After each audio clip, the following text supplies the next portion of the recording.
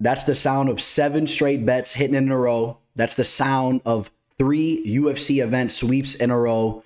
We're blazing hot right now. We're going into this upcoming card uh, with a lot of momentum. We're going to be capitalizing. I see some spectacular spots already to capitalize on. Uh, this is going to be another profitable event. I'm feeling really good right now. You guys know how it goes, man. There's ups and downs throughout this this, this game uh, of betting on MMA, and right now I'm appreciating. Uh, the work that we've been putting in because we're really bringing in some money, contemplating grabbing a boat. What do you guys think? Uh, should I get a nice little 30 footer? Uh, get on my Conor McGregor shit, and uh, things are things are good right now. Um, like I said, this upcoming event, UFC Austin, I see some spectacular spots to capitalize on. We'll be talking about them here coming up.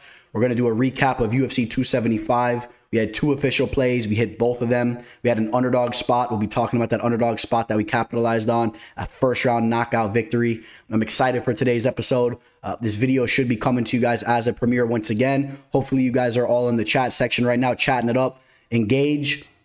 Please do engage. Hit, hit up the comment section if you're watching this after the fact. But if you're watching this as a, a premiere, uh, you know, bounce ideas with each other, bounce ideas off each other. Hit up the comment section either way. I appreciate you guys. Hit that like and subscribe. Let's get to it.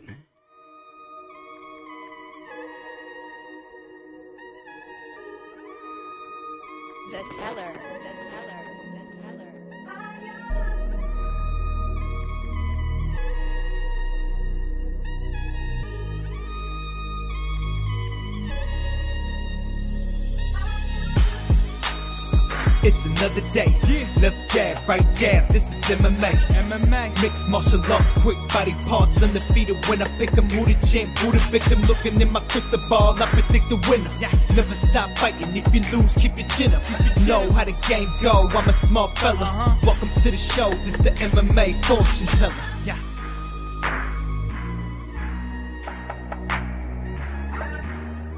The MMA fortune teller. Teller. Teller. The teller. The teller. The teller. What is up, you guys? UFC Austin. If you guys didn't realize, we have a solid card here taking place this upcoming Saturday. A lot of intriguing matchups, uh, some real talent all throughout the card. Uh, so if you again, if you didn't realize, you got a treat uh, taking place this upcoming Saturday. Definitely some solid spots to make money all throughout this card. I truly believe that. I'm not just saying that, guys. There's some there's some solid spots to make money this is one of those cards that I really, really feel is going to be profitable. And again, that's coming in off three profitable events. Uh, I feel more confident about this event uh, than than some of those other three events. So uh, we'll, we'll see how it plays out. We'll be jumping into every single fight moving forward. You guys know how this uh, show goes. There there will be timestamps all through all throughout the uh, the show here. Uh, we have those new time cards, so you should be able to uh, see them right as you glaze over this video if you're watching this after the premiere. Hopefully, you guys are tuning in uh, for the premiere here and you guys are all engaging like I, I talked about in the intro. Um, we got Josh Emmett taking on Calvin Kattar, two top uh, top 10 featherweight fighters, uh, two very talented guys that have uh, grenades for a fist. They could put anybody out at any given time in a fight. Uh, it has all the makings to be an explosive fight. Um, take a quick look throughout the card. Uh, and the co-main event, we got Donald Cerrone taking on, taking on Joe Lauzon. That fight was supposed to take place just a couple weeks ago. Uh, we, we remember Donald Cerrone had uh, some type of stomach bug, and the fight was pushed back here. So um, some of you guys probably probably remember how I feel about the fight. Uh, Kevin Holland taking on Tim Means, Joaquin Buckley taking on Albert Duraev. Uh, we got a lot of a lot of exciting fights. Some real talent in uh, Damir Ismagulov and Guram uh, Kutat Lazi, uh, the Georgian fighter. Uh, excuse me on the pronunciation. That's a tough one there. Uh, Gregory Rodrigues, Adrian Yanez, Jeremiah Wells. Uh, I mean, th- this card really is filled with talent. Um, and all the way to the first fight, which we'll be jumping to here in a second. Phil Hawes taking on Deron Winn, another fight that was supposed to take place a while back uh, that was rescheduled here. And uh, I'm excited about that fight too. You guys know the routine though. Let's take a look back at UFC 275. Let's see where we went right. Let's see where we went wrong. Uh, there was no wrong for me as far as from a betting standpoint. Uh, from from overall picks, we'll talk about some of those. Hopefully, you guys all made out well. Uh, most importantly, from a betting standpoint, that's what we're here to do: make money. And uh, let's slide over there. So in the first fight of UFC 275, we had Jocelyn Edwards taking on Ramona Pascual. Personally, I felt that Ramona Pascual uh, took rounds one and two. Uh, round one, Jocelyn Edwards started a little bit quicker. She landed some good shots in the feet early, was throwing some nice kicks and whatnot, good movement. But uh, the the attack that Ramona put out at the end of that round, in my opinion, was more than significant enough to take that round. Uh, if you guys remember, she was working the body. She hurt Edwards bad in the body. She was landing knees there through some kicks.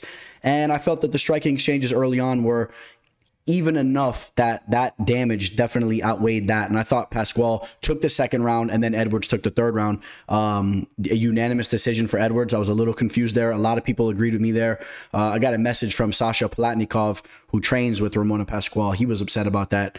Uh, in the next fight, Silvana Gomez Juarez uh, knocks out Na Liang. Uh, we didn't pick this fight correctly. I thought with no confidence at all, if you guys remember, but I thought there was a possibility Na Liang's aggressiveness and submission skills could have gave Juarez uh, some problems. But we know that Juarez is a decent athlete and she does carry some good power. If she was going to win the fight, this was definitely a way she could have won the fight. We saw her drop the Demopoulos on the feet. Now she knocks out Liang here. Uh, good victory for her there. Kyung Ho Kong takes out uh, Dana Batgerel. Uh, I'm very happy that I stayed away from betting on this fight because I did uh, contemplate it at one point in time. I like the uh, the aggressiveness and the power that Batgerel has, but there was some red flags, and of course that being that he just was recently knocked out, and uh, and yeah, he wasn't knocked out in this fight, but you guys have to realize when somebody gets devastatingly knocked out like they just did like that recently.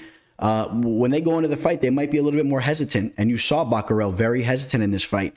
Um, and Hyo Hong, Hyo Hong, excuse me there, Hyung Ho Kong is, is a guy that's a very talented striker, throws uh, nice straight shots, and we talked about that as well, right? The straight shots of of him may be uh, landing a little bit more crisp than, than the the looping power shots from Batgerel. So I stayed away from that fight. Hopefully, you guys all did as well. Now the official action kicks off here. Uh, wait till you guys hear my two leg parlay. I, am sure some of you guys are going to have something to say about it, but uh, I did put a two team together here, a two team uh, parlay, and the first leg was Brendan Allen. This fight played out a lot closer than I than I wanted it to, or that I thought it would have. I thought Allen would have been able to handle uh, the, the, relentless grappling pressure of Malkoun better, uh, but Allen was looking a little slow out there, and I'm I'm I'm off the Allen train a little bit for that performance, but I did think he did enough to get the job done. It was extremely close. You guys have to understand something here. The judges are not valuing holding on, uh, fighters holding on to their opponent and, and, just hanging on them against the cage and eventually getting a takedown or two, not doing any type of damage, not throwing any type of shots while they're grappling. We saw it, and we're going to get to another fight later. And we, we knew that this was something that changed recently. So you have to understand that when we're betting on these fights, take that into consideration. It's only going to benefit you. If you know there's a fighter that, that could potentially get some takedowns, but really doesn't do any damage at all, and if he's really not going to be able to hold the other fighter for five minutes straight there, you might not feel as confident as as betting on them. Now here you were getting underdog odds on Malkoun, so if you felt like you, there was value there, uh, no shame on that. But I thought Allen did enough. Uh, took the third round, and then that big judo throw that he had where he got in mount. I think that was the other round he took. So uh, the leg, uh, the first leg hits. Now we go to a straight play right here, a plus 150 uh, bet uh, my boy Hayasar Maheshate uh, grabbed it at plus 150, two units. I could not believe that the line was like this. You guys know how I felt about this fight. You heard the prediction, the the, the breakdown last week. Uh, why was Maheshate an underdog going into this fight against Steve Garcia? Maheshate is a legitimate fighter. He has real talent. He's a stud striker. He's working on his takedown defense and actually has a wrestling pedigree that not a lot of people even realize. People were questioning his wrestling abilities. Steve Garcia hasn't shown anything, and I don't understand why there was money coming in on Steve Garcia. I grabbed Maheshate as high as plus 175 right before the fight started and threw a hefty wager on that. Uh, so a lot of money came in there. Uh, and as you guys saw, if you guys follow me on IG, MMA fortune teller underscore, go follow me. I actually posted this two team parlay before the second fight even took place which we'll be getting to here in a second. Um, but Bao looked great. Got the split decision over Sangwoo Choi. I thought he should have won the unanimous decision. He won the first two rounds, did big damage. Jack Della Maddalena takes out Ramazan Emeev. This was a play I hesitated on. I was very close to pulling the trigger on Jack Della Maddalena. And, uh, you know, if you really look into Jack's resume, not a lot of experience against tough grapplers, tough wrestlers, and lower level competition. Uh, you know, he fought the striker on Dana White's Contender Series. He fought another striker that was only 4 0 as a pro in his UFC debut. Ramazan Emeev's not a joke. Ramazan Emeev almost had that sub All right, let's be honest now. Uh, but but great work for Jack to defend that, get back up to the feet, and get the the knockout there, working the body. Uh, Jake Matthews gets the knockout over Andre Fialho. That was a fun fight. Jake Matthews looked amazing out there. Big props to him. A lot of people were on Fialho. I picked Fialho to win the fight. Thought it was close, but um, Jake Matthews, man, that's the Matthews that I want to see moving forward. And he's still young, so you guys know we talked about the fact that his mom reserved the octagon uh, to to deliver him. So we know that he's he has a world of experience in the octagon, and, and he has a world of of time ahead of him. So let's see how far he could push it. Uh, Weili Zhang gets the knockout over Yuan Young Jacek. That was crazy. The spinning back fist knockout. What do you guys think about that knockout there? And Joanna Young Jacek retires. And uh, I had a feeling she was going to retire after that loss. I, was kind of feeling those types of vibes. She's getting up there in age, and, and that was it. You know, she, if she would have won that fight, she could have fought for the belt after this. But uh, she she's always partying and she's always on the beaches and stuff. And she's a, a girl that likes to enjoy her life and let her move on to the next chapter of her life. Valentina Shevchenko defeats Taila Santos. All right, guys. Now, this was the other leg of my parlay, a very close fight. I thought Shevchenko did enough to take one of those first three rounds. Um, Santos, again, was hanging on her. Uh, Santos had some moments, though, she really did flash with her grappling. I'm very impressed from, from uh, what she put out there. Um, I still felt that that Shevchenko took one of those rounds because Santos just didn't try to throw any strikes when she was getting in those dominant positions. She should have just tried to try to step up uh, the the activity of just landing a couple elbows, just throwing a couple shots, and then Shevchenko was constantly uh, throwing shots. Even when she had her back taken, she was landing nasty shots. Uh, you know, throwing them over her shoulder. So the judges they they score points for that type of stuff. And then of course Shevchenko took rounds four and five. Uh, I'm sure a lot of you guys feel Santos won the fight. I, have been hearing about it, but it was an extremely close fight, and this is why you don't target these types of lines. I got away with it here. You, you know, I said it right in my bet write up. I don't usually target these types of high lines. I, I just knew Shevchenko was going to get the job done, but look, I was playing with fire there. Uh, it was a very close fight. And uh, at the end of the day, though, the five unit play cashes was a minus 174 two team parlay. Major units come in again. We had the underdog spot on the Mashate fight, another profitable event. That's three events in a row. That's seven bets in a row. Where we're on absolute fire. I'm telling you guys, man, I've been killing it with the tape. I got my new setup over here, uh, as you guys see, working on things, and and I'm putting in a lot of time uh, cramming tape. And speaking of cramming tape, a fight I cannot wait to watch back: the Yuri Projaka uh, Prochazka, let me get that right. Yuri Prochazka, put some respect on the champion's name, defeats Glover Teixeira with that that fifth round uh, rear naked choke. Didn't even have the hooks in. And um, listen, that fight was one of the best fights that I've ever witnessed. Uh, what a pleasure to watch that fight. What a war. Glover Teixeira was 30 seconds away from winning the fight, made a mental error in there. If we're being honest, I felt like both men made a lot of mental errors and both men were were fighting very recklessly, which I was surprised to see Glover do that more so. Uh, this fight was on the table for both men to to claim if they would have slowed things down and been more cerebral in there. I felt that that Prochazka could have got the finish if he would have slowed things down. There was times Glover was on his back and, and Prochazka let him stand up when he was doing significant damage early when he was fresh, when he was able to stack the guard and throw heavy shots down. There was a lot of mental errors, a lot of reversals, a lot of transitions, but uh, what a treat of a fight and we got a new champion, and Yuri Prochazka, the, Czech Republic uh, fighter there. And uh, I'm very excited to see him uh, potentially take on Jan Blachowicz next. So, how did you guys do on this event? I hope you guys, uh, I hope you guys all made some good money there. And uh, hopefully, my, my last video helped you guys do that. And now we move forward to UFC Austin. So, Phil Hawes taking on Deron Winn. Uh, we already broke down this fight a while back. And remember now, this fight was supposed to take place um, we'll, we'll pull it up here. This fight was actually supposed to take place initially uh, back in 2021, uh, about a year ago. Uh, and then it was rescheduled again in October. It fell through again. And uh, now here we are. Hopefully it goes through. Uh, you guys know my thoughts on this fight. This is a very tough fight for Deron Winn. Deron Winn is extremely undersized. He has a very odd frame for the division. Um, he's a guy that we saw fight up at the light heavyweight division, I do believe, right? At the Oscar De La Hoya promotion or one of those other promotions. I think he fought even up there.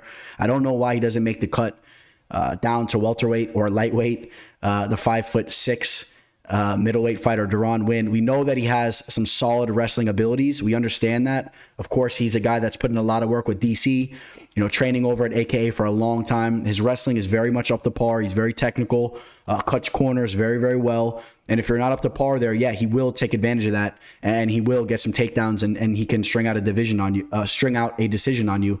Um, remember what we talked about earlier, though, with, with the judges really not uh, giving credit so much to uh, the, the, takedowns and the control there as much as the damage. Well, you talk about a guy that puts damage out, Phil Hawes, a devastating striker, big time knockout power. Uh, and underrated takedown defense and underrated grappling. Okay, that that's that's the thing with Phil Hawes.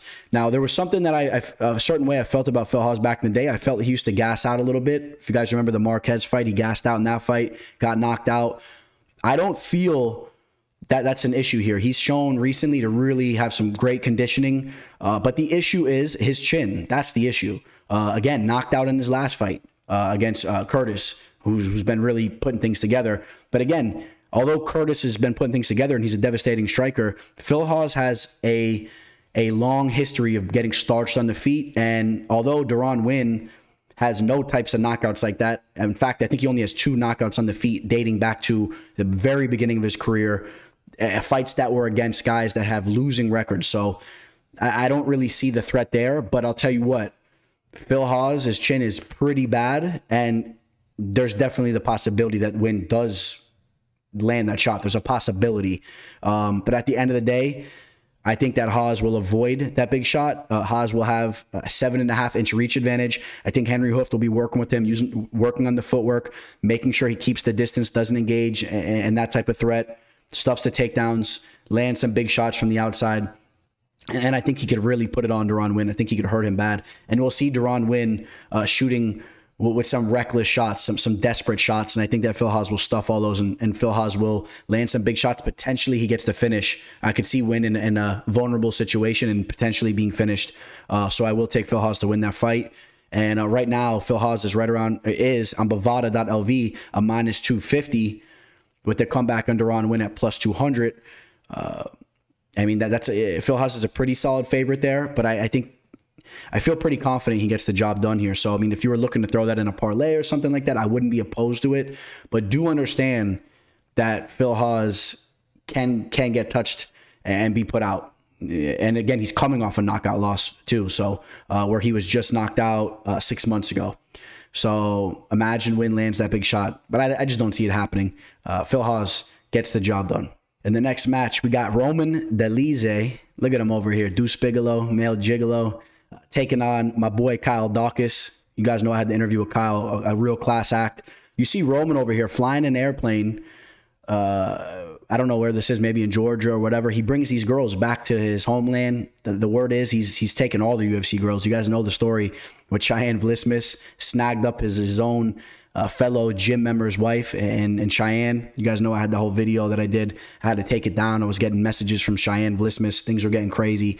Um, and now look at Roman here. Roman's working on Claudia Gadelha and Antonina Shevchenko at the same time. Look at this guy. He has the beard. He flies airplanes.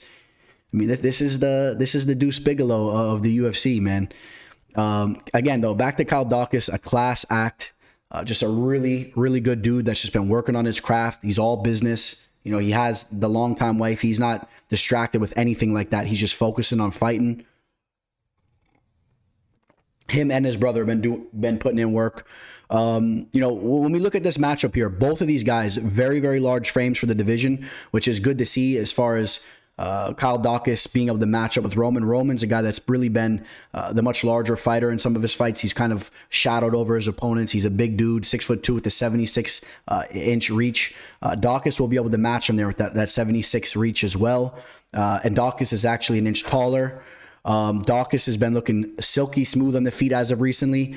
People underestimate and undervalue the work that he did against Kevin Holland due to that headbutt. He was looking amazing in that fight. He was taking that fight. It was unfortunate I wasn't able to cash that underdog bet, uh, but it was what it was. It ended up being a draw or excuse me, a no decision. But in his last fight, he goes out there, pulls the Darce on Jamie Pickett. Um, again, I bet I've been pleased with the work I've been seeing from Kyle Daukaus. Uh, the way I see this fight playing out, I see Daukaus uh, being a little bit, a little bit more accurate on the feet, a little bit more fluid with his movement and his footwork. Dolidze is a guy, uh, he does have some big power, but the more the fight goes on, we've been seeing Dolidze get a little bit, um, a, a, little bit clunky. Uh, that's a good word to describe. He gets clunky and he slows down a little bit. Uh, I really didn't think he looked good in that Trevin Giles fight. He really slowed down in that fight. Um, now in that Giles fight, uh, yeah, he did take the L there. Some people thought that he won that fight, but I thought that he lost that fight. Giles outworked him late. Uh, he bounced back with the victory over Laureano Staropoli, a guy that really kind of fell off. And I don't even know if the fell off's the word. He just never really lived up to the potential that he could have had. Uh, Kyle Daukaus has been living up to the potential. He's 29 years old. I expect Daukaus to be more fluid in the striking exchanges. And when it goes down to the mat, I think Daukaus will be the fresher fighter. And with his jiu-jitsu skills, I think he can give Dolidze some problems there. Uh, Dolidze is a very strong, powerful guy. He'll try to throw some bombs at Daukaus. He'll try to, uh, you know, get the better of the of the grappling exchanges with his power and his brute strength. I think that the fluidity and the skill set of Daukaus will, will prevail here. We'll go. We'll take a look at the the betting line, and you're looking at a line right now on Daukaus at, at minus two thirty. So people really respecting Daukaus in this spot. Uh, people been respecting Daukaus. Um, you know, he came in as a big favorite again in his last fight, and there's been a couple spots where he's came in as a pretty big favorite. I think the line is slightly off here, if I'm being honest. I think that Dolidze is a threat. He's, he's a powerful fighter and he's a skilled fighter. I think Daukaus gets the job done, but I was a little surprised to see the betting line of minus 230 next to Daukaus's name. I thought maybe a minus 185 would have been a little bit more accurate, but nevertheless, I think Kyle Daukaus gets the job done. And, um, he, he may get this he may get the job done via submission. Keep an eye on that as well. Maybe a third round sub late in the fight. Cody Stamann taking on Eddie Wineland. Uh, Eddie Wineland. Let's talk about Eddie here for a second. If you didn't realize, you know Eddie, the former WEC champion, a guy that's been around the block for a long time. He's definitely up there in age now. Eddie Wineland was was just always a fun fighter to watch, always a stud.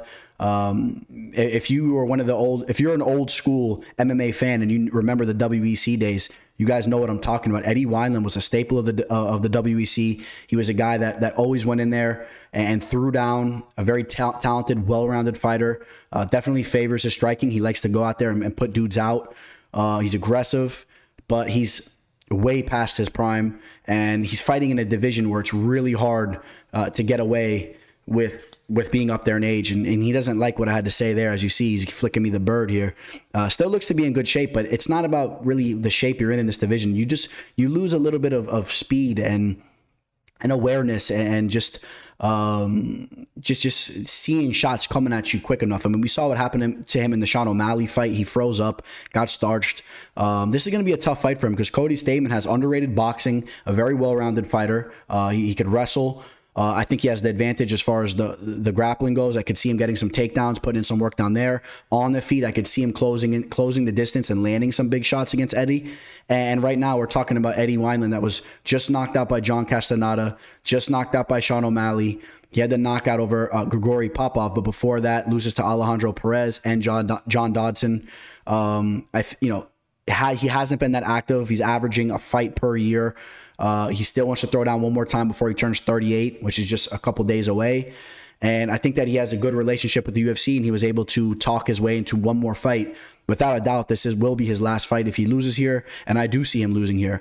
Um, uh, the only way I see him winning in this fight is if he lands some type of big shot and really puts Stamann on queer street, and Stamann doesn't rebound, and Eddie Wineland can can kind of steal a decision like that, or maybe gets that knockout shot, which I just don't even see happening. But th- those are the only uh, real possibilities. I think that Stamann's the better fighter. Stamann's hungry right now.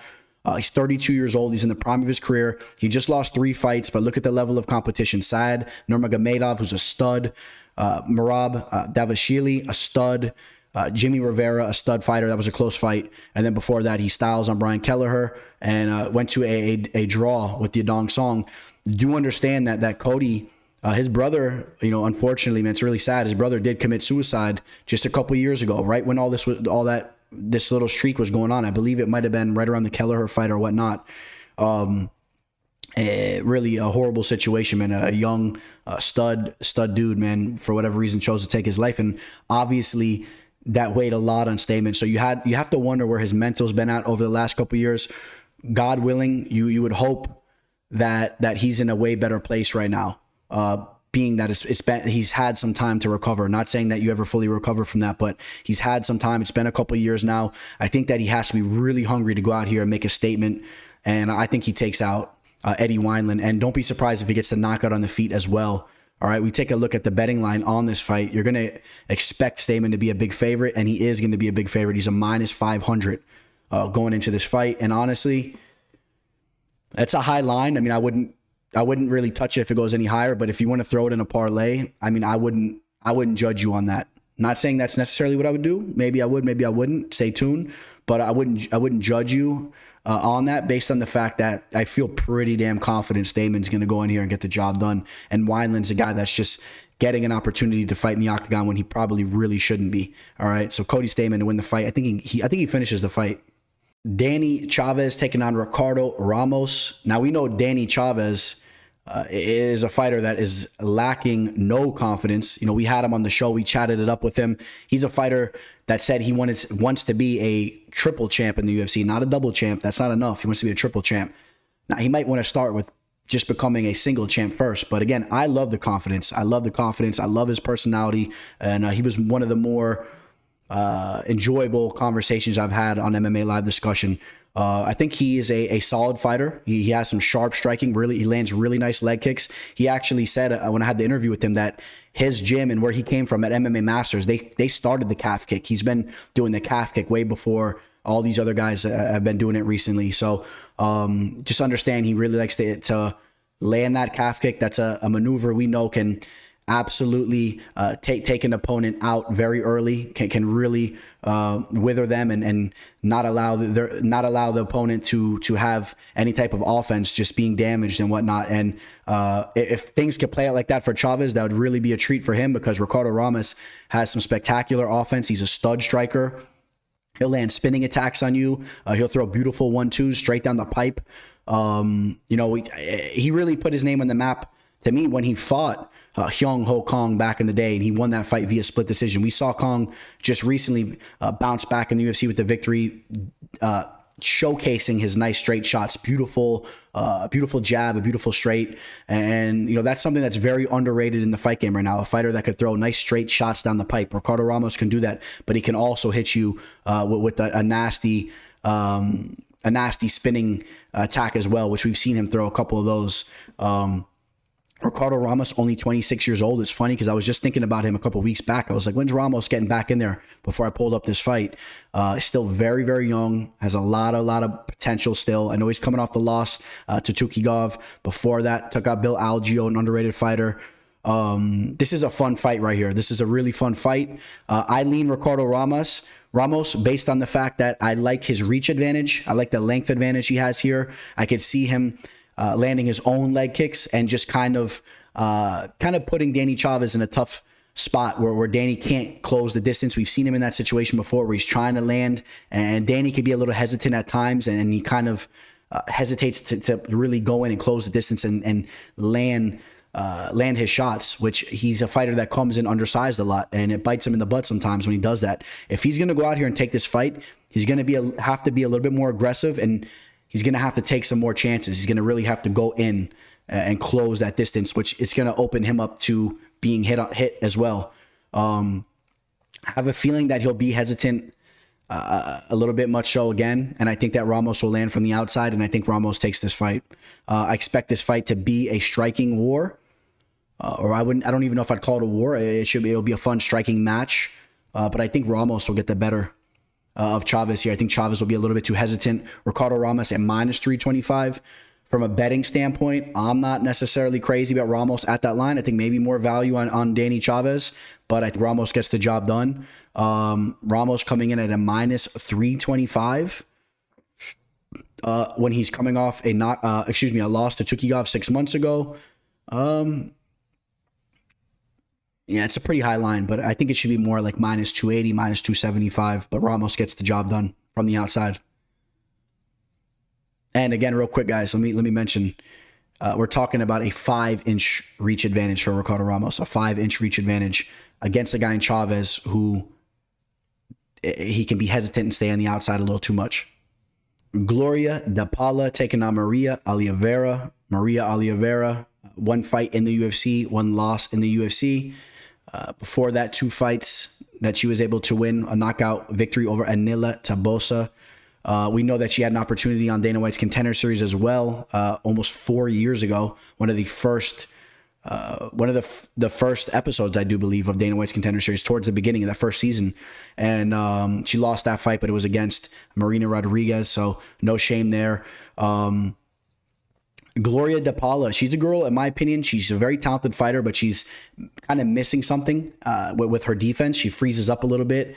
Uh, she'll throw some nice shots, but she kind of freezes up and pauses, and she's vulnerable to be attacked back. Uh, we saw her freeze up against Cheyanne Vlismas and get her head punted uh, across the, the octagon.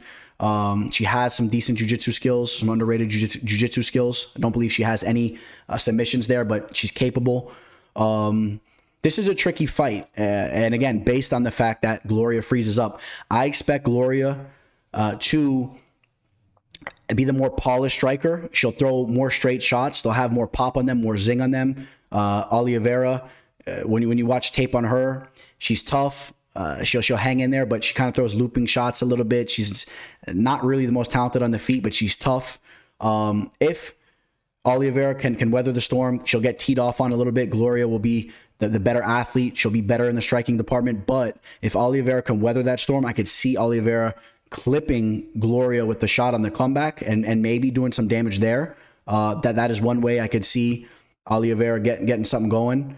Um, but overall, Gloria de Paula is the more talented fighter. And I like her striking better as far as from an offensive standpoint. Her offensive striking is better. That's why I'm going to pick Gloria de Paula to win the fight. And uh, look at Maria Oliveira. Look at her. Not this one, but the last one. Sticking her tongue at you. Uh, you know, she's trying to make a little bit of a name for herself uh, in women's mixed martial arts, but she's got to win some fights first before she's taking bikini pictures in the bathroom and whatnot. And uh, and and Gloria is a little bit of a tough matchup for her, um, just because I think that she is the better striker. But she'll have that avenue to potentially clip Gloria with the shot and do some damage. We've seen Gloria have some issues there. Uh, let's see the line on this. I- am expecting Gloria, or excuse me, I shouldn't say that. I already know Gloria is a, a big favorite here, minus 265. That line is off to me. Uh, I think that Gloria should be like a minus 170 to like a minus 185. I think that she gets the job done, but if you want to take that shot on the fact that de Paula's striking defense is lacking again and she gets clipped or she gets tagged up a little bit, uh, make some mental errors, some mental miscues in there, Maria Oliveira can take this fight. So definitely more value on the underdog, in my opinion, here. But Gloria de Paula is the better fighter and probably gets the job done at the end of the day. Another women's mixed martial arts fight here. Jasmine Jasudavicius is taking on the UFC newcomer Natalia Silva.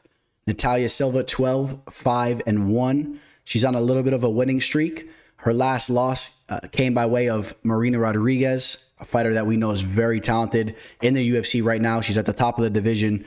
Uh, Natalia Silva, when you look at what she's been doing recently, it, it kind of looks better than what you've seen, what I've seen on tape, really, in my opinion. The fact that she was able to go uh, to a decision with Marina Rodriguez, that does say something.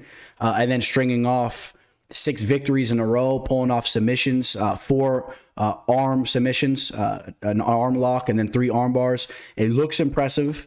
Uh, she has a good amount of experience. Uh, the fight with Marina Rodriguez, she was actually able to kind of weather the storm on the feet. She was using her footwork and she was kind of switching stances and hanging with Marina Rodriguez there to an extent.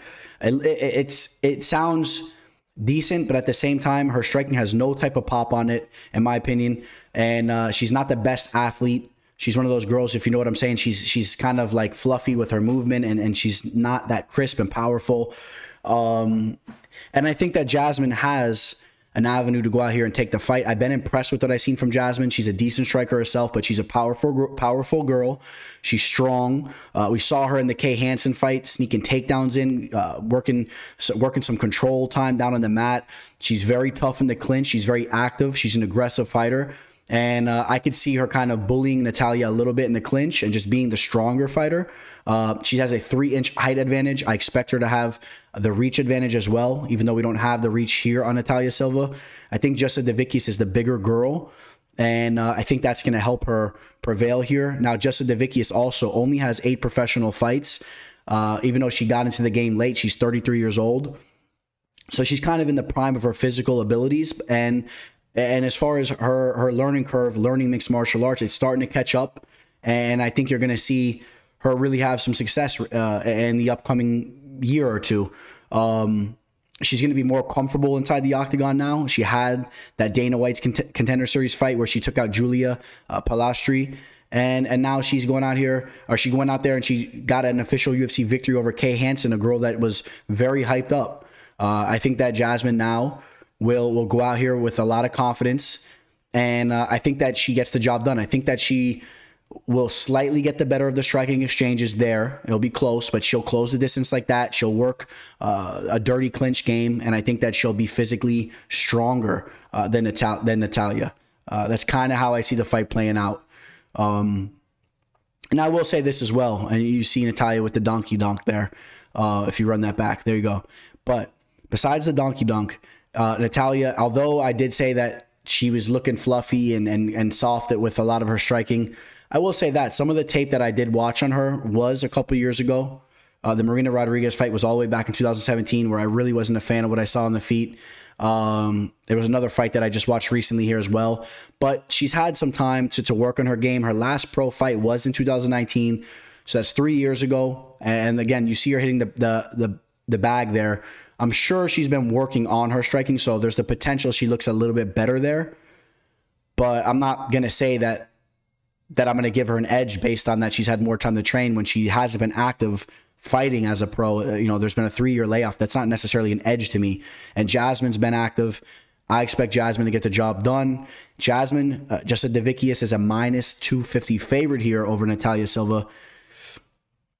It's a little risky, in my opinion. There's a lot of question marks going into this fight. I personally wouldn't want to be touching a minus 250 line but Jasmine probably does get the job done. So that's one of those those tricky fights that's kind of trying to bait you in, um, but but you really you don't know exactly how that fight's going to play out. There's some question marks there, the inactivity, uh, a lot of different things going on there. But I think Jasmine gets the job done. She's the the larger, uh, stronger fighter. Jeremiah Wells taking on Court McGee. This is a fight that I've been very torn on. I've been back and forth on my selection here, but you guys are going to get one live here in a second. Live on the spot. I got to make a decision here. Jeremiah Wells is ferocious on the feet. He carries some big time power. Uh, we saw what he was able to do to Warley Alves. He got that knockout there, took that fight on short notice. We know the stories of him in the gym. Paul Felder was talking about the work that he puts in, in, in puts in in the gym. He's a savage. Uh, in his last fight, he took out Blood Diamond, where he was able to work the grappling. And that fight, he had a game plan. He stuck to it. I liked that that he did that. That shows that he's a cerebral fighter. He knew the path to victory was through his grappling, even though he loves to strike. Wasn't engaged engaging in a striking match against Blood Diamond the, the training partner of Israel Adesanya and them, I do believe. Um, so that, that's something that you like to see there. Uh, in this fight, though, uh, this is a completely different fight than, a blood diamond fight. Court McGee is a well-rounded fighter who obviously his strengths are his cardio, uh, his grappling, the pace that he pushes, and uh, he's a whole different fighter than, than excuse me here, than what Jeremiah Wells' last uh, opponent was. Court McGee, uh, up there in age, 37 years old, fighting in the welterweight division. I do believe he's cut from a, a little bit of a different cloth, though. This is a guy that that's going to get away with fighting there up in age. Uh, a little bit more than than others. First off, look at the shape that he's in going into this fight. This was uh, two days ago. He's in phenomenal shape. Uh, he, he, really is in phenomenal shape. Um, coming off two victories in a row. He went out there, out grappled, and, and, pushed the pace on Ramiz Brahimaj, a talented grappler. Before that, took out Claudia Silva. Claudio Silva uh, Hannibal is an underrated fighter. So he, he, has some momentum now. That's two solid victories in a row. Uh, before that, lost to Carlos Condit. That wasn't the best look. Sean Brady, a stud grappler. Uh, and then Diego Lima, I saw that fight live. That was the first fight of a card that I, I, was just walking into the event, I believe in Sunrise or South Florida over, you know, UFC event at the Panthers Arena. And um, I thought that McGee won that fight. And I'll tell you what was going on in that fight. The arena was empty. It was the first fight of the of the card, and there was a lot of Diego Lima uh, supporters there. And those those supporters were screaming like crazy whenever Lima did something so slightly, and it skewed the judges hundred percent. I'm telling you guys, McGee should he should have got the nod there. Um, so that all being said, I have a feeling Uh, and there's a red flag here we're going to talk about real quick with Wells. Wells lost to Vinicius de Jesus, and the grappling affected him a little bit in that fight. And uh, I'm not that high on, on, Vinicius de Jesus. He fights over in Bellator. I'm familiar with him. Just watched him fight recently a couple times. And uh, Court McGee is a better fighter than Vinicius, in my opinion. And uh, even up at, at 37 and a half. Uh, at the shape that I just saw Court coming in, there's a half uh, inch reach advantage. Not really an advantage, but he, he has the reach to hang with Wells. Uh, he's taller. He's the larger guy. I could see Court McGee wearing on Wells, using his craftiness and and all the, the, the experience that he has to go out here and take a victory. Um, that being said, Jeremiah Wells has dynamite in his hands, can knock anybody out. I could see him really teeing off on Court McGee, but Court McGee has a granite chin, so he's gonna have to do more than just land a couple big shots. He's gonna really have to put a lot, a lot of volume on Court McGee to, to rack up some points and, and potentially hurt him bad. But Court McGee will eat a lot of that. Um, so my pick is gonna be uh, Court McGee. And the line on this fight is a straight pick 'em right now in Bovada. Minus 110 to minus 110. It's a pick 'em fight. It's interesting. You could pick your po- poison, as I like to say. I'm sure a lot of you guys will be going with Jeremiah Wells. Uh, Jeremiah Wells being uh, you know, the younger fighter, but not by much. He's actually 35 and a half years old as well, just two years younger. Obviously, Court McGee with a lot more fight experience and, and wear and tear on his body, 31 professional fights compared to 13 pro fights for Wells. Uh, so that, that makes a big difference as well, obviously. Um, I still, I'm going to go Court McGee here. I, I've, I've liked what he's been doing recently. I think he sneaks this one out. My boy Adrian Yanez taking on Tony Kelley. This is a very fan pleasing matchup right here both these guys bring the fight. Both these guys like to strike it out. Uh, they have different types of styles on the feet. And I, I feel that the the different types of styles they have actually will clash very nicely. Yanez obviously favoring his boxing very much. Um, he's he's a fighter that that's base is really his boxing. We know that we know the story with him. We chatted up with him, and he's a fighter that really was a boxer before anything. Before he fully stepped into the sport of MMA. His dad was a big boxing fan. His dad was a boxer. Um, in his fights, he favors his hands very well, but don't don't don't underestimate his kicking ability because his kicks are nice as well, and he will uh, land some very very nice kicks as well. Tony Kelley, more of a traditional martial artist with his base. He has like a karate type style. Um, he, he's a a very durable and powerful uh, fighter, not like your typical karate type style fighter you would think of. Uh, and the fact that he, he's like light on his feet, just looking to pepper you up. I mean, he throws some power shots and really looks to carve you up with his elbows and all that.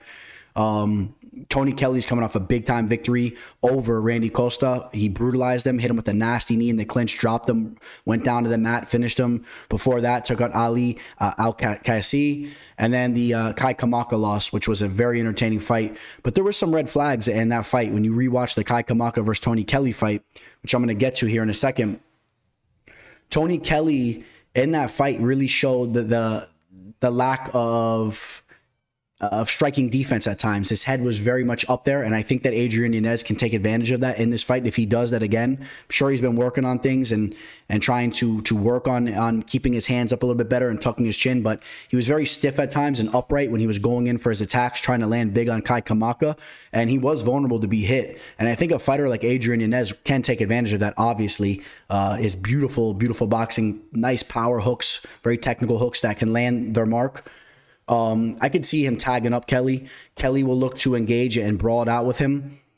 And uh, I could also expect uh, to see Tony Kelley trying to mix things up, maybe trying to grapple a little bit. He's been working on some things there. But uh, Adrian Yanez will be prepared for all that. Um, as far as their frames go, both 70 inch reach reaches. Uh, Tony Kelley a little bit taller, two inches taller.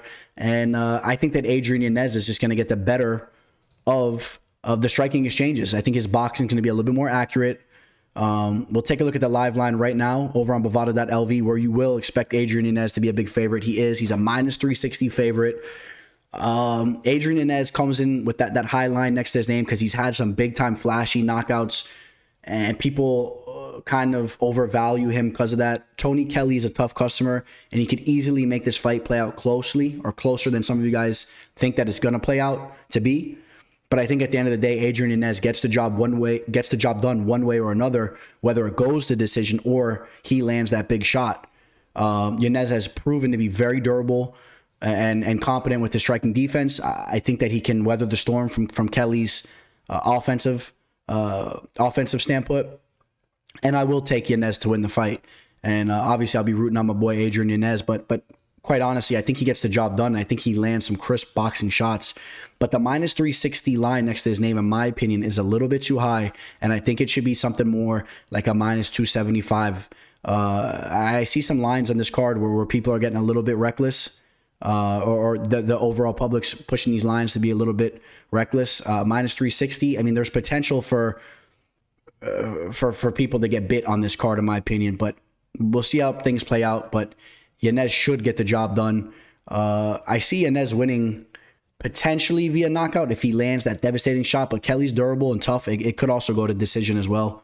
Uh, Yanez to get the job done. Julian Marquez taking on Gregory Rodrigues.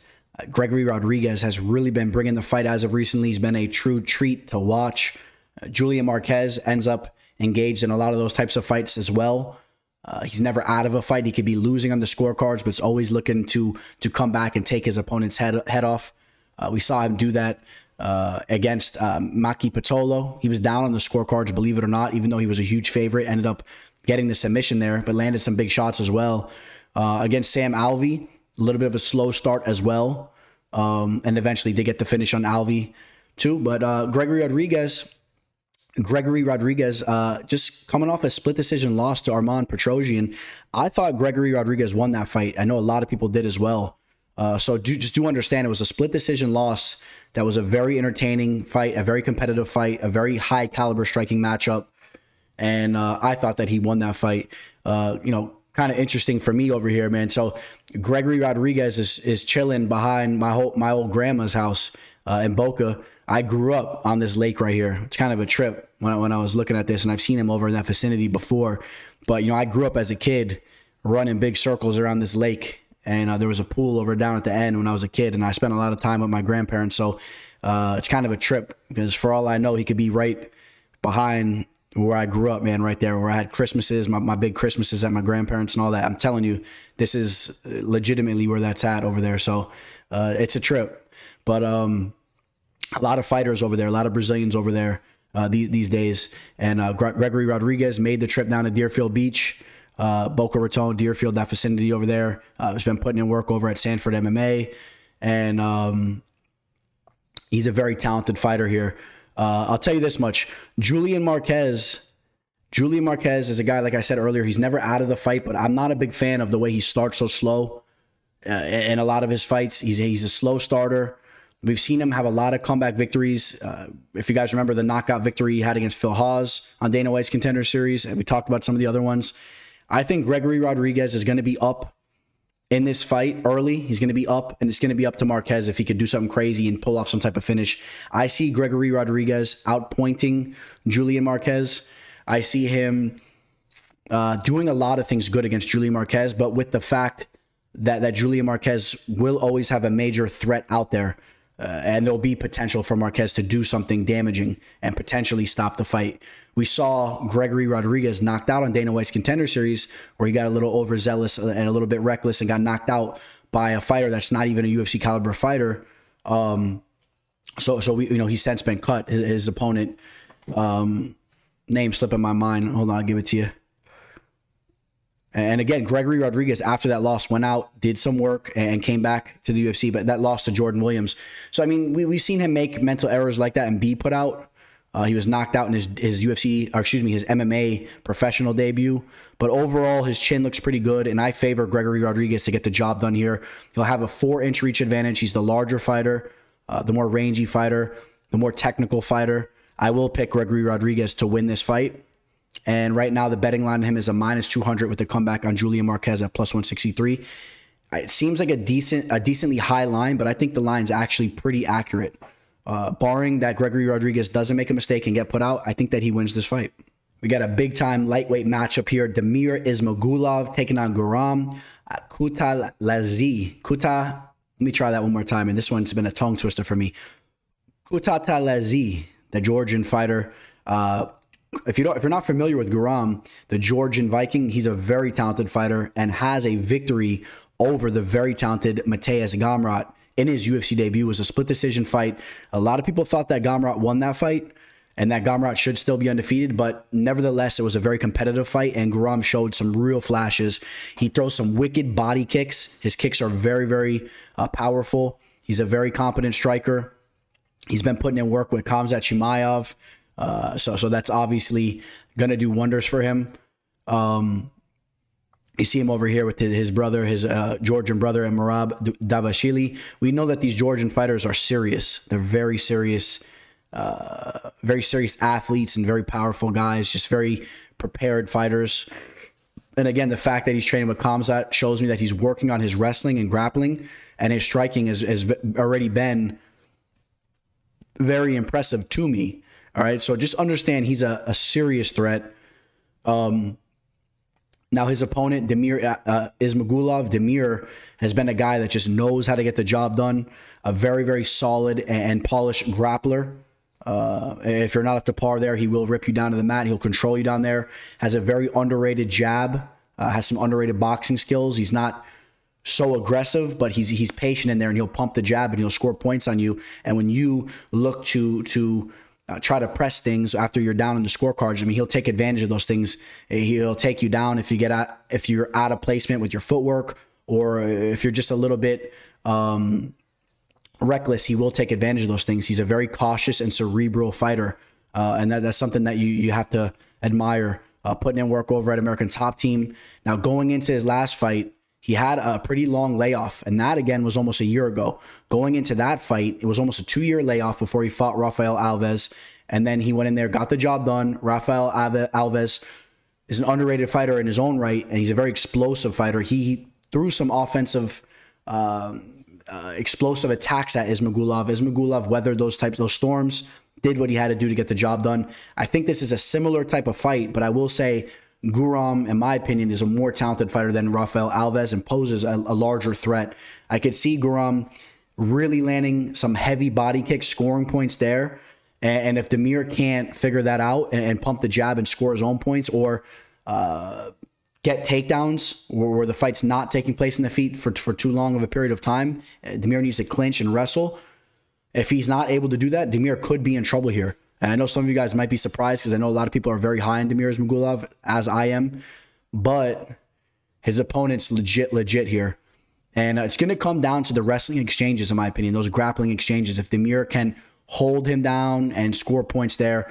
And now we talked about it earlier about these judges not valuing uh, just just you know simple control or getting a simple takedown and not doing damage. So Demir will have to get takedowns and score some points down there. Uh, was taken down by Mateusz Gamrot a couple times when he was out of position in that fight. He was taken down a couple times. But understand how the judges are looking at things. Uh, I think it does value Guram to an extent. I still am going to pick Demir Ismagulov because I've just been very high on him. Uh, I know he still needs to prove more, but I, I just like fighters that are very well prepared in all fields and are very cerebral and technical. And Demir is all that. And I am going to pick Ismagulov to win the fight. But I think that there's a real, real chance that he drops this fight and tastes his first defeat inside the UFC.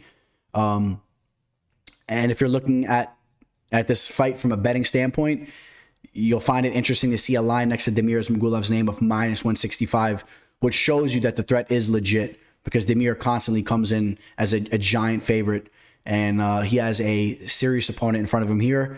This is going to be a, a fun fight to watch. And right now, um, or excuse me, uh, Damir will have a two inch reach advantage to try to pump that jab, uh, even though he's an inch shorter, uh, just from a, a, physical standpoint. And um, I'm excited for this fight. I really am excited for this fight. Let's see how it plays out. I'm gonna I'm gonna stick with Demir uh, to get the job done. So you guys know we always analyze these betting lines through Bovada.lv. This is the sports book that I use.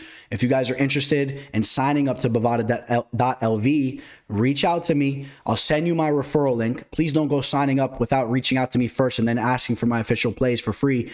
Reach out to me first, please, guys, so I can give you my referral link so I get credit for the referral. We will both get bonuses to our accounts. I'll help you uh, learn how this the sports book works. It's very simple. Everything is just so neatly put. Very, it's very all very clean. The payouts are so easy. Reach out to me if you guys want to sign up, and I will give you my entire uh, all my plays for free. I'll give you my entire uh, betting package for the card for free uh, for, for the weekend. I'll give you my sports betting weekly plays as well. So reach out to me if you're interested. Joaquin Buckley taking on Albert Duraev. Uh, Albert Duraev uh, came through, made some money for me in his UFC debut. Uh, made some money for, for me on Dana White's Contender Series when he came through there and looked to be just an absolutely devastating fighter when he went out there and took out Chad Bittencourt the way he did. Just bum rushed him, was smashing him up against the cage, and then eventually uh, locking in that submission. Uh, but I will say this: the the performance that he just went out and put on against Roman Kopylov, a guy that I'm not high on, was very very disappointing. And I, like I said, I had action on him. I had a parlay with him and Khamzat on that fight card.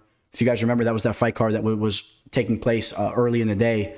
Uh, if you're in America, and Duraev, first off, never went to the wrestling or the grappling early, which I was very disappointed to see because that's his real strength, in my opinion.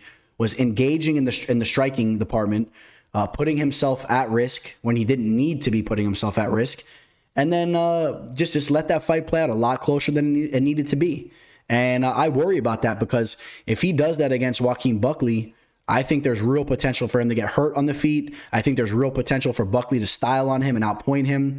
Uh, Duraev is a guy that's been falling in love with his striking, and I think it could be to his detriment. I really do. Um, I think that Buckley is very live to land a big shot here. I've seen some holes in Duraev's uh, striking defense. now, if Duraev can go out there and mix things up, I think he could really have some success and and I mean really mix things up. I mean throwing a couple strikes, going to the takedown, going to the clinch, outworking Buckley, um, really going to his strengths. He can't just go out there and try to make this a striking affair. And I don't have full confidence that he's going to go do that. I, I really don't. Um, interestingly enough, check this out. Look who's side by side right there in Vegas.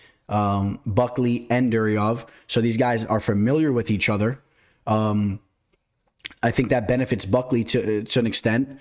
Um, it, but Buckley will have to stuff those takedowns. Look at Buckley here doing a little race with this girl. He thought he was gonna. There was uh, if if you're watching this, so basically Buckley, uh, this girl has a thing. If if if you can beat her in a race, you donate five dollars. If she beats you, you donate ten. So either way, you're donating to a good cause. And uh, if you're watching this, you're gonna see Buckley get smoked right now by some some uh, some girl basketball player and she smokes him. So caught him off guard there. But uh, Buckley is, is a phenomenal fighter. Still has one of the best knockouts of all time. Uh, not, not just in the UFC, but in the sport of MMA. One of the most more spectacular knockouts you'll ever witness. And um, I like Buckley's attitude. I like everything about the guy. And I'm a fan of his. He's coming off two victories in a row. Took out Abdul Razak Alhassan, cashed an official play for me. Uh, took out Antonio Arroyo, a knockout victory there. And then he, he got caught by Alessio Di Chirico, of course. But overall, his, his striking's been looking phenomenal. The knockout over Jordan Wright. Um, I'm going to take the underdog Buckley here, and we're going to pull up the line. You're going to see Buckley's a dog, and that's just based on the fact that you know uh, a lot of these these Russian fighters with the grappling in their pocket, they get a lot of respect. But uh, Duraev, he's a minus 210 favorite with the comeback on Buckley at plus 170. Just understand that Duraev, if you're betting on him, he will make you sweat in this fight, in my opinion and Buckley is just a talented striker. And um, I'm gonna take my boy Buckley. He's just he's been coming through for me, making me money. I'm not necessarily that confident in the pick, but uh, as far as from a value standpoint, I think there's more value next to Buckley's name than than Duraev, and I could see Buckley landing some big shots eh, as Duraev entertains that striking affair. One of my favorite fighters in the game, Tim the Dirty Bird Means, taking on Kevin Holland. What a spectacular matchup here absolutely great matchmaking here. Tim Means, such an entertaining fighter. He always brings the fight. Kevin Holland does the same. Uh, Kevin Holland, coming off that victory against Alex Cowboy Oliveira, started off a little slow, dropped that first round. Uh, in my opinion, Cowboy Oliveira could have easily took that fight if he would have been more disciplined, but got reckless, got caught. Um, listen, I'm going to cut right to the chase here. We know Kevin Holland's dropped down in weight. He's fighting in the welterweight division, a weight class that a lot of people believe is more suitable for him. Um, here's the thing, though, man. Tim, the Dirty Bird Means, in my opinion, is one of the more underrated fighters in the game. Silky smooth with his striking, underrated wrestling. We know that he's been very much engaged in, in the the wrestling lifestyle, should I say? He's he coaches and he does all these types of things. Um, Kevin Holland Kevin Holland has a major flaw in in his arsenal, and that is his takedown defense. And I don't believe that it's been been fixed. I saw him on his back against Cowboy Oliveira in the first round, and then Cowboy Oliveira, what does he do in the second round? Doesn't even shoot. He just starts throwing bombs. Uh, we know that Cowboy Oliveira has some of the worst fighter IQ in the game. Um, I think that there's real potential for Tim Means to be crafty enough on the feet to throw a couple of shots, close the distance, clinch up, and sneak some takedowns in and take this fight. I think there's legit potential for that. That being said, Kevin Holland is, is very big for this weight class. He has solid jiu-jitsu, underrated jiu-jitsu, and he has fight-ending uh, talent on the feet. He can always knock knock anybody out uh, in the middleweight division or in the welterweight division. We saw what he did uh, to Joaquin Buckley. You know, speaking of Joaquin Buckley, we were just talking about him, knocked him out in his UFC debut. Um, and Tim Means is a guy that that engages in those wars and puts himself out there to be caught. And he makes mental mistakes at times. Remember the D Rod fight? He was winning that fight, stuck his head in a standing guillotine, got caught. But other than that, though, you know, won four of his last five fights. Took out Mike Perry, Nicolas Dalby. A little bit of a step up in competition here, based on the fact that Kevin Holland has that questionable takedown defense and gets really complacent at times down on, on his back. If if his opponent wants to take advantage of that, he's susceptible to being beat like that. And I think that Tim Means could do that. Um, now I do feel, I do feel that Tim Means may engage a little bit more so in the striking department and put himself out there to be tagged back. But I think there's an ability for for Tim Means to land some big shots on the feet as well and hurt Kevin Holland. We saw, I mean, we saw Kevin Holland hurt recently by Kyle Daukaus in the feet. Now it was by headbutt, but before that, um, Daukaus was having a little bit of success, not much, but the point I'm trying to make is that Kevin Holland, I, I think that people are are thinking he's just this stud striker. I think that he has some holes there. He drops his hands at times, and I could see him being laid out on the feet. I could see him getting hit with a big shot throughout his career. I think we'll see that a couple times. I think he'll be tagged and put out. So you, you mark my words on that. Now, I'm not sure if Means is the guy to do it, but there's potential for that as well on the feet. I'm to pick Tim Means to win this fight, and I definitely think there's more value on him from a betting standpoint. I'll say that much. Um, well, let's find this line here on Bovada.lv. And Tim Means is a plus 190 with the comeback on Kevin Holland at minus 240. Definitely more value on Tim Means. I'm going to slightly pick Means to win the fight. We'll make things exciting there. Uh, I think the line should be closer. And um, we'll see how things play out. I could definitely see Holland landing a big shot too on the feet and, and finishing Means. So we'll, we'll see how things play out overall. But give me give me the dirty bird. Donald Cowboy Cerrone and Joe Lauzon, two legends of the game, two fighters that that have uh, some of the most fight fight bonuses uh, in the UFC uh, throughout the history of the promotion. Two guys that always bring it. They always put shows on, and uh, an excellent match here. Uh, as far as a, a crowd pleasing fight, two legends up there in age. This was the right move by the UFC. Uh, this fight was supposed to take place a couple weeks back. Remember now, Cowboy Cerrone had that bad food poisoning.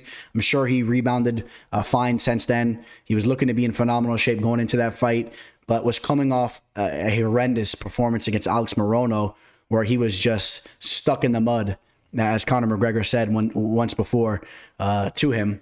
Uh, he looked just to be like that. He, he, was one of those. He looked to be stuck in the mud. He was so slow. He was so stiff, and uh, he's always kind of fought like that. He was a very upright type of fighter, or he is a very upright type of fighter with his Muay Thai. But the fact that he's creeping up to 40 years old, I think, is also playing a factor. Um, I really didn't like how he looked in that fight against Morono. He's been losing a lot of fights. Now, if you go back a little bit more so, it's against higher level competition.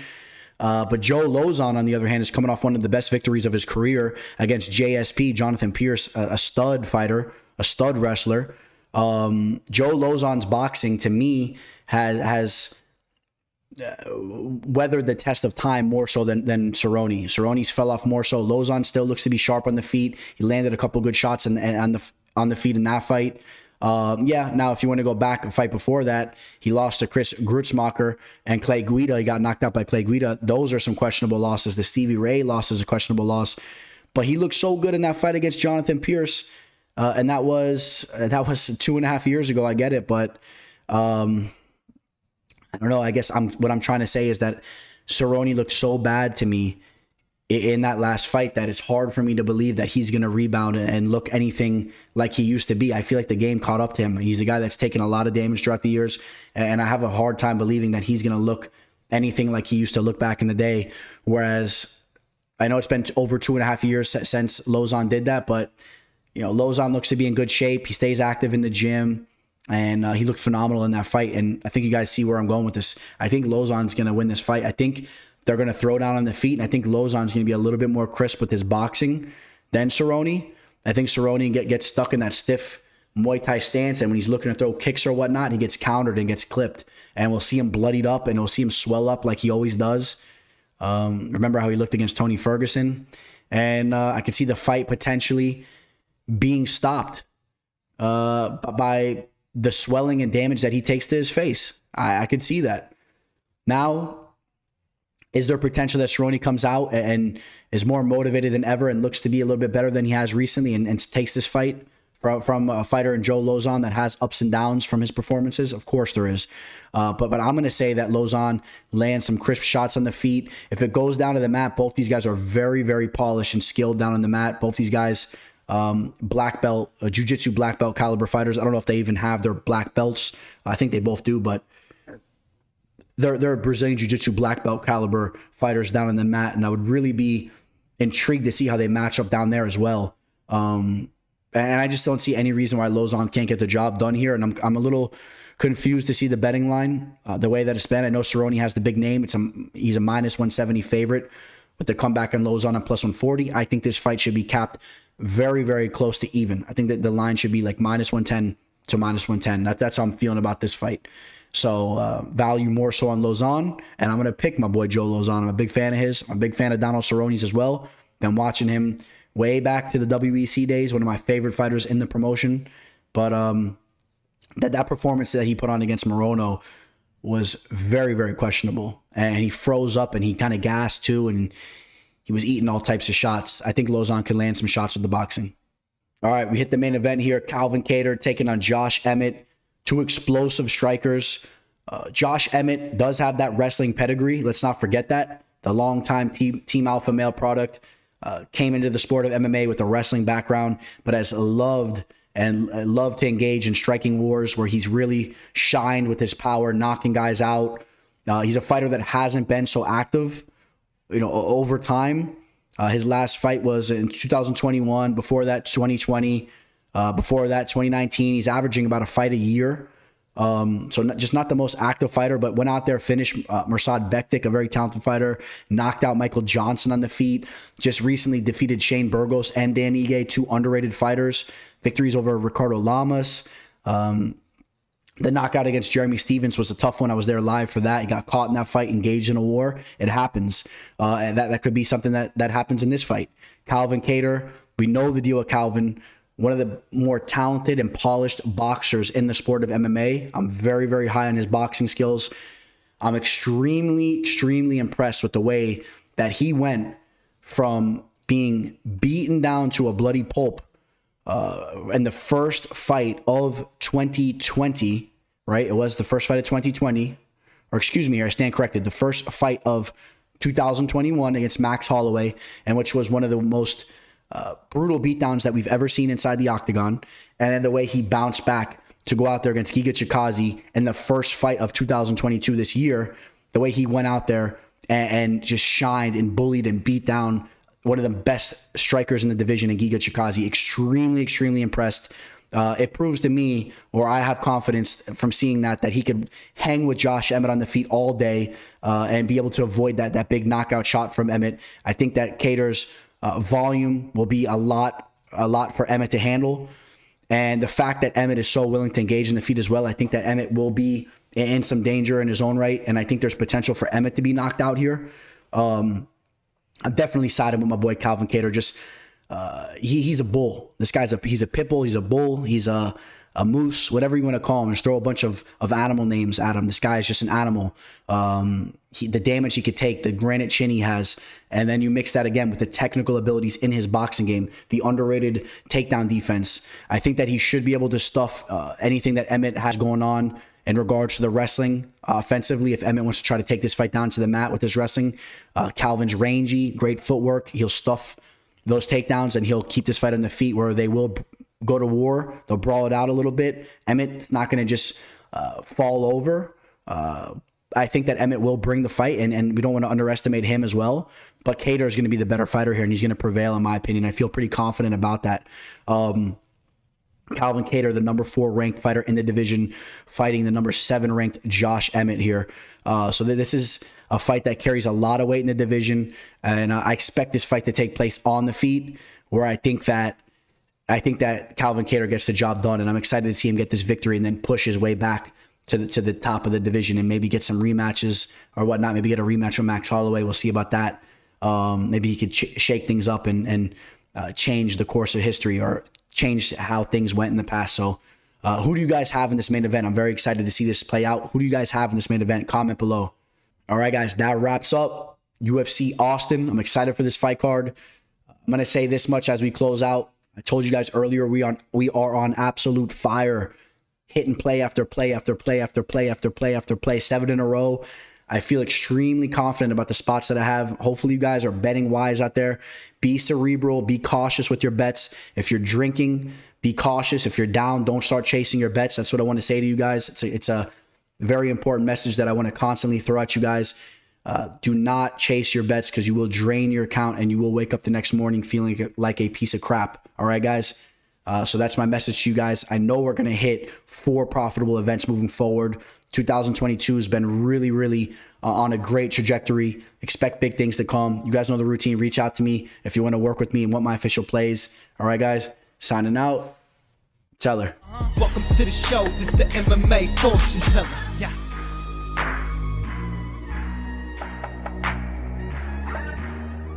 The MMA fortune teller. The teller. The teller. The teller.